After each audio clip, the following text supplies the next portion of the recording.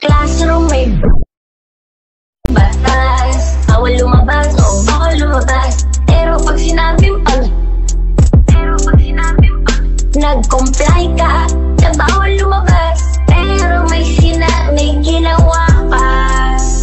Sa pinagbabawal nila